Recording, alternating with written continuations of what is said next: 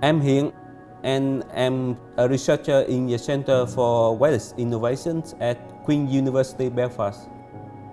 I'm developing a new and revolutionary technologies in mobile network, which differs from traditional cellular networks as there are no cell. These new revolutionary technologies will improve data speed, reliability, and network connectivities, and therefore meet the demands of users of future wireless systems. Cellular networks are running out capacities and hitting the physical limits.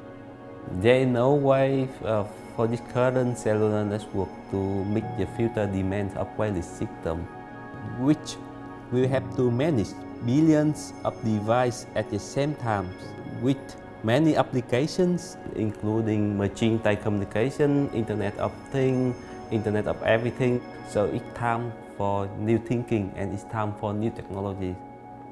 The problem I propose in my project is a very complicated and big problem. It requires time.